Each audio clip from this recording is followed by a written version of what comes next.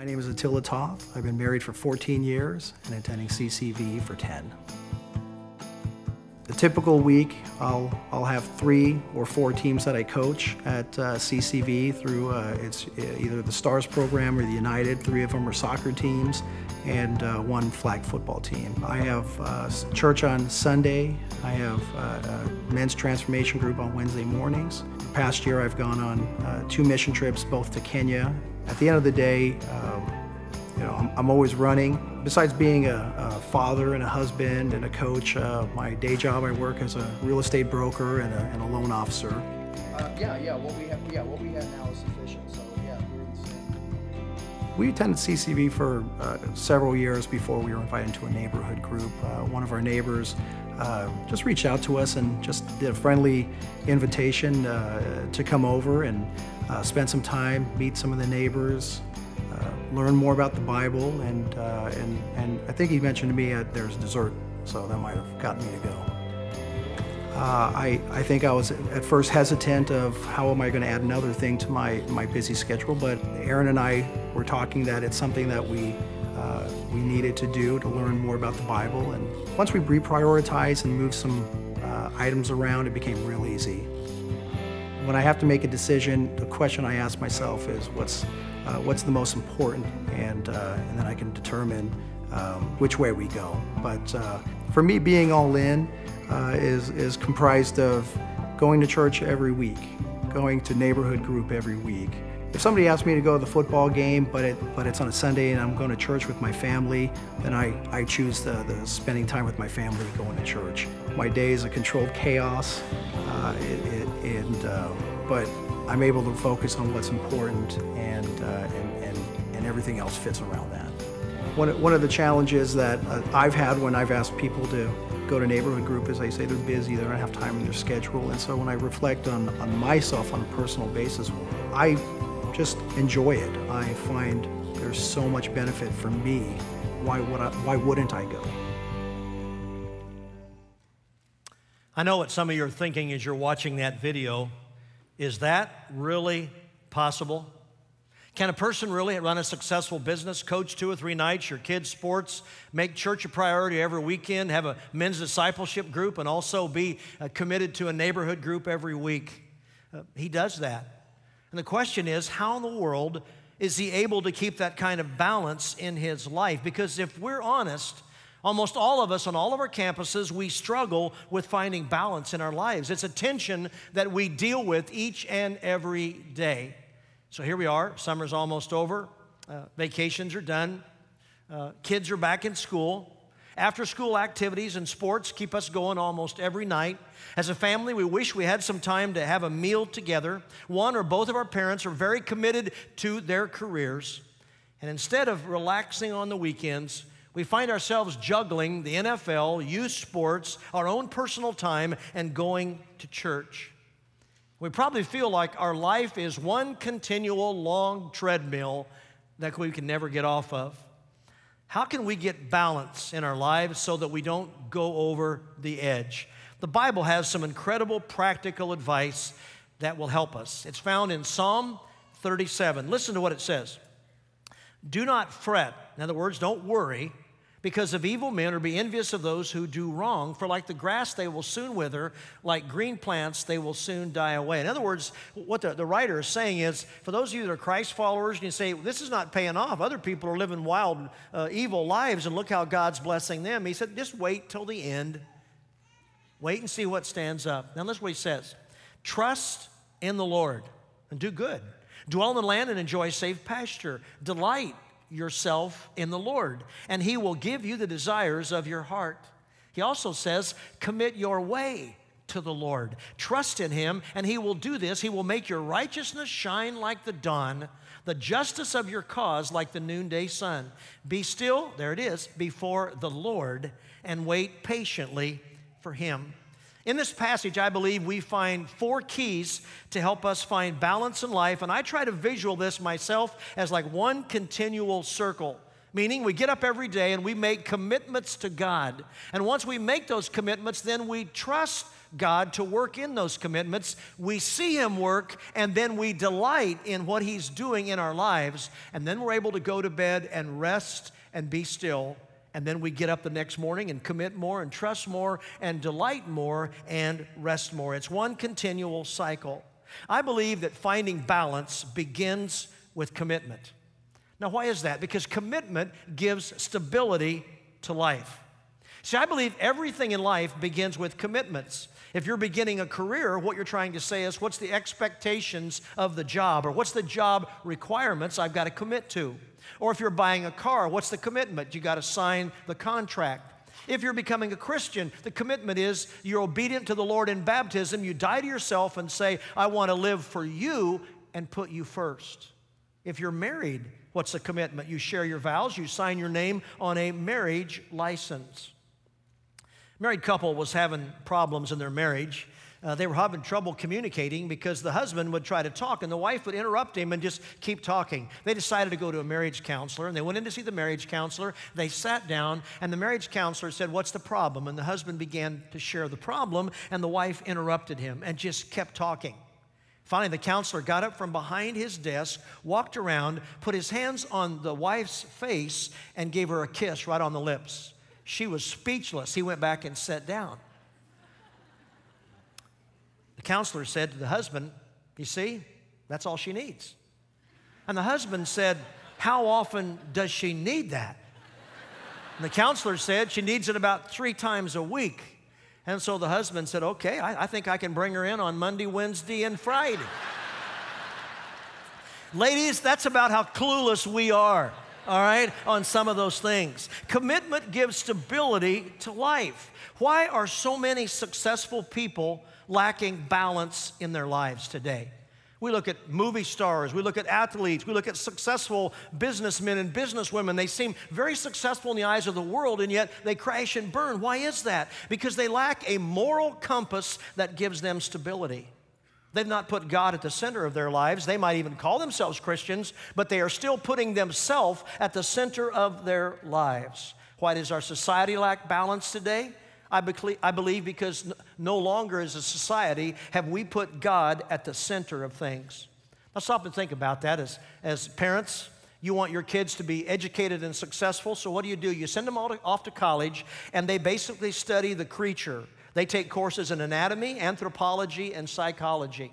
They study courses in how to be creative. They take art and music and writing and dance. Then they take courses in the creation. How's the world put together? Astronomy and geology. And we would say that's all you need to be successful. And yet we leave out the very core of life and learning and education, which is a study of the Creator, which is theology. And we wonder when we've removed the most important thing in education out of our educational system and our country, we wonder why we're out of balance. Stop and think about this country as it began. Some of the leading universities, Harvard, Yale, Dartmouth, Princeton, those colleges were started by Christian denominations and churches that wanted to say the key to quality education is the understanding of God at the center of everything. Commit your way to the Lord. How in the world does commitment give stability to life? Well, you see, your commitments reflect your values. What you're committed to reflects what you really value. The Bible puts it this way it says, Seek first, circle the word first. Seek first his kingdom and his righteousness, and all these things will be given to you as well. In other words, all these things that we worry about in life, we're out of balance because we haven't put God's kingdom and living the way God wants us to first. You see, your commitments are reflected by how you spend your money and how you use your time. And so, if I could look at your checkbook, if I could look at your calendar or, or, your day timer, whatever you have, or your appointment book, those two things would tell me what you value, value and what you think is important. 2014 George Barna survey just came out, and it reflected the changing values and habits of Christians who worship. Christians used to go to church three out of four weekends a month. Let's say that's almost 35 weekends out of the year. But now Christians go once every four to six weeks. Do you get that? We used to go 35 weeks a year. Now Christians are going 10 weekends out of 52. Do you see the change in values? Is it a wonder that we often feel out of balance? Studies also are showing that millennials, the younger generation just leaving home and college, that they are the group that's leaving the church in the highest numbers. But just last month, a new study come out, came out that really caught us completely off guard. It says now the largest group that's now disenfranchising from church is baby boomers. 41% are checking out of church because if we're not careful, many people that have gone to church, even as baby boomers, Jesus and God in the church was a part of their life. It wasn't central to their life. Or maybe they served and they say, Hey, I've already done my time.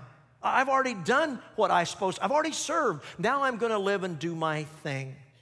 The study also found that parents are the single most important predictor of a young adult's attitude toward religion and the church. I want to repeat that because often we think it's peers, it's movies, it's, it's the media. No, parents, Christian parents, you are the single most important person in whether your children are going to grow up and love the church or Jesus Christ. You see, your commitment reflects your values, and your values are often caught more than taught.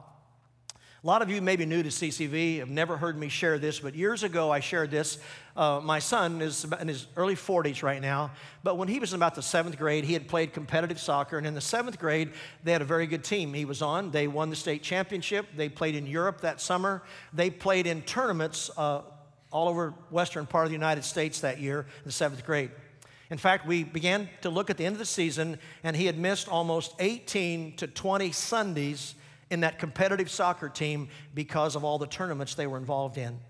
And my wife and I sat down and talked, and we said, you know what? We have a values conflict in our family because what we've told him is important and what we're allowing him to do is totally inconsistent. And so I made one of the hardest decisions I probably ever made as a parent. I sat him down and said, We're taking you out of competitive soccer. Because you see, we believe the church has got to be first and you've missed almost 20 weeks, and we're really saying to you that soccer is more important than the Lord, and so I'm sorry, we're taking you out. Now, I told you it was the most difficult decision I probably ever made as a parent, but I can look back now and tell you it was one of the best decisions we ever made. You know why? It reinforced the consistent values of which we had raised our son to that point. Commitment gives stability to life. Does your commitments really reflect your values? Secondly, trust gives peace to life. The word trust, believe, obey, faith, it all comes from that same Greek word. How do we develop trust? How do you become a person of greater faith? You've got to learn to release things to God, palms down. Now, you've heard that before. You say, What do you mean? Because a lot of times we say, God, I'm releasing the situation to you, palms up. But when we release it, palms up, we are still in control. We're playing God. And if God doesn't do it the way we want, we take it back. And so you see, when you say, God, I'm giving it to you, but you hang on, the result is increased stress, ulcers, worry, and high blood pressure. Or you can trust God and release it to Him palms down, which means you got to let it go. You can no longer get it back and be in control and play God. You have got to let God be in control. That's hard to do. But when we do that, the result is peace and contentment. Bible says this in Proverbs chapter 3. It says, "Trust in the Lord with all your heart." Circle the word all because that's the struggle for us as Christians. He's got some of our heart, but He doesn't have all of our heart. Trust in the Lord with all your heart and lean not on your own understanding means we, we don't know everything. In all your ways, acknowledge Him. Let Him be God, and He will make your paths straight. I want to ask you what area of your life are you afraid to release to God?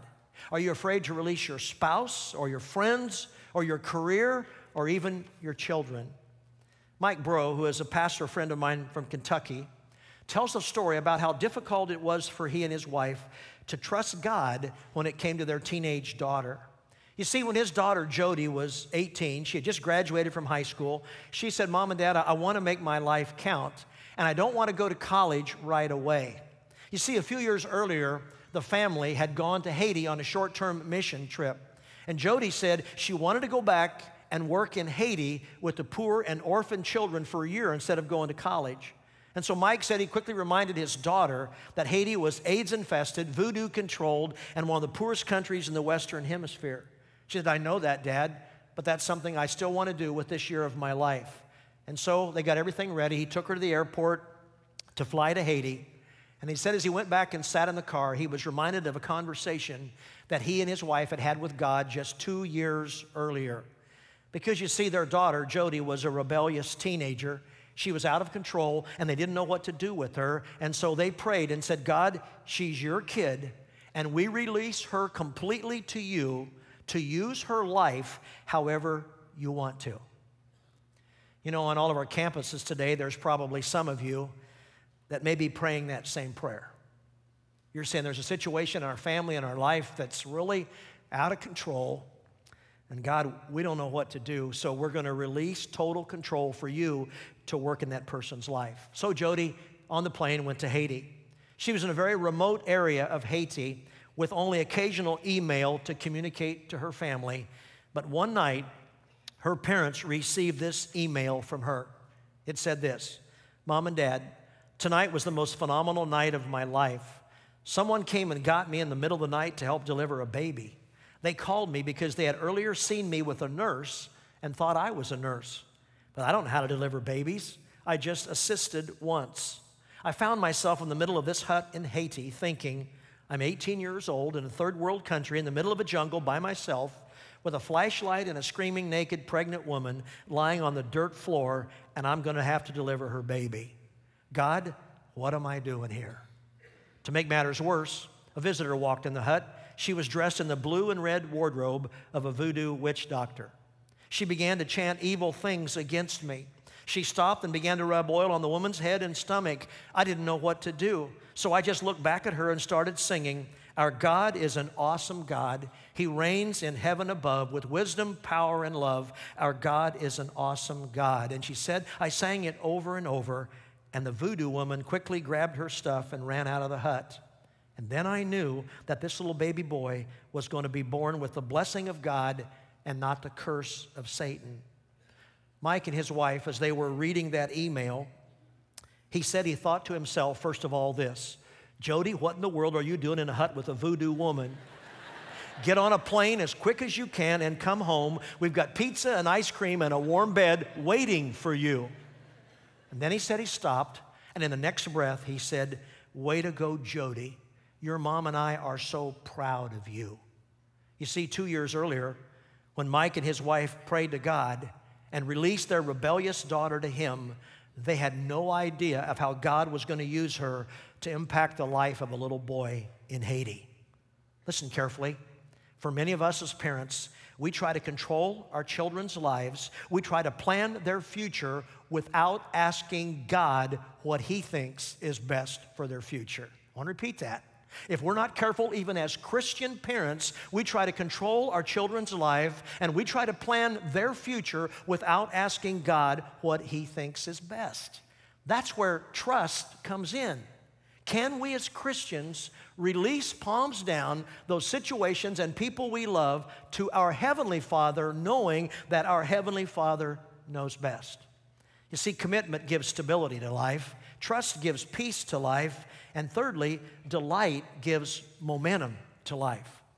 Why is it when you see Christians, they often walk around with long, sad faces? It makes you think they've been baptized in dill pickle juice. You see, if we're not careful, it's because we tend to take ourselves too seriously. We need to relax and yet take God very seriously. I believe laughter is good for the soul.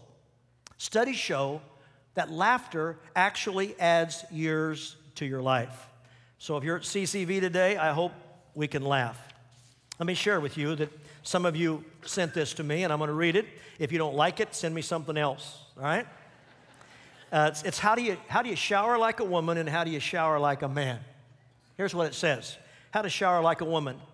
Take off clothing and place it in a laundry hamper. Walk to the bathroom wearing a long robe. If you see your husband along the way, cover up exposed areas. Look at your womanly physique in the mirror. Take mental note to do more sit ups and leg lifts. Get in the shower. use washcloth, long loofah, wide loofah, and pumice stone. Wash your hair once with cucumber and sage shampoo with 43 added vitamins. Wash your hair again to make sure it's clean. Condition your hair with grapefruit mint conditioner. Wash your face with crushed apricot facial scrub for 10 minutes. Wash rest of body with ginger nut and Jaffa cake body wash. Rinse conditioner off of your hair. Shave your legs and armpits. Rinse off, turn off shower. Squeegee off all wet surfaces in shower. Spray mold spots with Tilex. Get out of shower and dry with towel the size of a small country. Wrap hair in super absorbent towel. Return to bedroom wearing long robe and head a towel on head. If you see your husband along the way, cover up any exposed areas. Well, that's how a woman showers. How, how does a man shower? Well, a man take off clothes while sitting on the edge of the bed and leave them in a pile. Walk naked to the bathroom. If you see your wife along the way, shake your body, making that woo woo sound. Look at your manly physique in the mirror. Get in the shower, wash your face, wash your armpits, blow your nose in your hands, and let the water rinse them off. Wash your hair, make a shampoo mohawk. Rinse off and get out of the shower. Partially dry off. Fail to notice the water on the floor because the curtain was hanging out of the tub the whole time. Leave shower curtain open. Leave the wet mat on the floor and the light and fan on. Return to bedroom with towel around waist. If you pass your wife, take towel off, shake your body, and make that woo woo sound again. And then throw the wet towel on the bed. Well, isn't it good to laugh? That's what church is all about. That's what the Christian life is all about. We need to find joy in life. Delight and laughter brings momentum in life. And delighting in the Lord allows us to see how the things we've committed and trusted God to, we can see how He's working in our lives. Jesus and his disciples were together. Luke 24 tells it this way When he'd led them out to the vicinity of Bethany, that was just a couple short miles from Jerusalem. He lifted up his hands and blessed them. While he was blessing them, he left them and was taken up into heaven. Meaning, Jesus was, was uh, buried, he was crucified, he was buried, he rose from the grave. He is now spending time with them before he ascends into heaven. And so he left them and was taken up into heaven. Then they worshiped him and returned to Jerusalem with great joy. Or can I say, they returned with great momentum. Why? Jesus was who he claimed to be. Jesus was the only Son of God. Jesus was the only way to God. He was the resurrection and the life who conquered death and forgave their sins. And so they returned to Jerusalem with passion about their mission because his mission was now their mission. Go to heaven and take as many people with them as they can. You see, knowing your purpose in life, I believe that's what gives us passion. That's what gives us energy. That's what gives us momentum. And so I want to ask you on all of our campuses are you enjoying life? Are you enjoying your marriage, your career, your family? Are you doing what God wants you to do? The joy of the Lord is our strength. As Christians, we saw in the Lord there all the time. It's the Lord that gives us the momentum to face life struggles. It's the Lord that gives us the momentum to enjoy life a day at a time. Commitment gives stability to life, trust gives peace to life, delight gives momentum to life, and rest gives perspective to life. Rest before the Lord and wait patiently for Him. Or, or another translation says, Be still and wait patiently for the Lord. I don't know about you, but is there anybody on all of our campuses that say, God, I wish we could just skip that part? I don't know about you, waiting patiently is hard for me. Oh, I want to trust God and make commitments, but, but I really want Him to hurry up and answer my prayers and get things done. You see, the Lord answers our prayers, but God often answers our prayers with a yes, a no, or a wait. And waiting is often, the hardest answer to our prayers because waiting and being still and resting gives us a different perspective. This is probably something maybe you can relate to, but uh, the, the image I want to put in your mind for this rest and be still and wait patiently for the Lord I want you to picture yourself in a rocking chair in a small town in the Midwest. We don't have those in, in the valley that much at all. But in a small town, I remember growing up, you could drive down the streets and there was the front porch. And people were in the front porch in their rocking chair, and you'd go by and they'd wave at you. You might stop and engage in conversation. If you're walking down the street, you would always talk and be involved. If the kids were playing, they were waving and talking to you, and you'd sit on the front porch and you, you would rock. You see, when you're on the front porch in a rocking chair, life slows down.